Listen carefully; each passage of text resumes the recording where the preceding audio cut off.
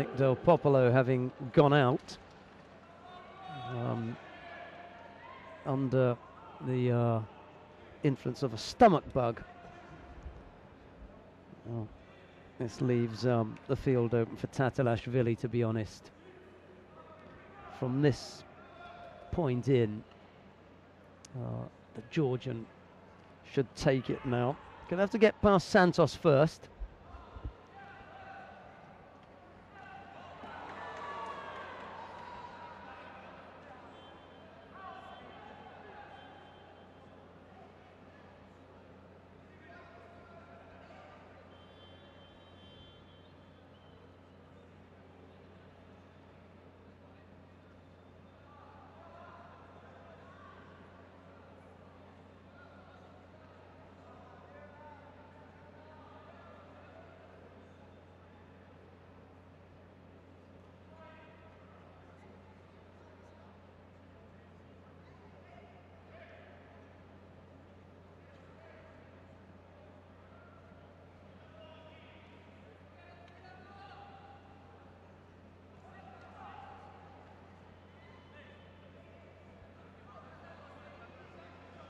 Both fighters settling nicely. This is shaping up to be a good one. Santos and uh, Tatalashvili.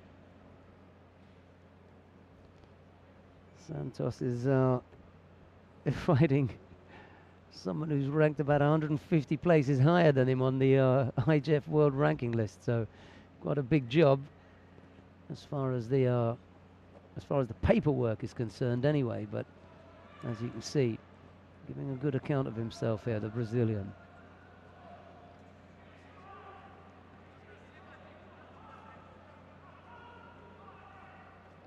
And now Tatalashvili just beginning to um, move into another gear here.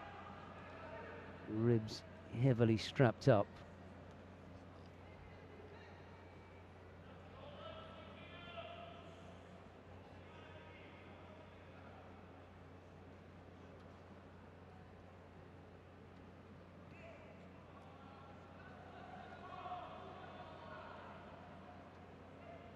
I say move into another gear, I mean I don't mean blast him off the tatami, but uh, certainly as far as the comfort is concerned and the gripping and his own movement.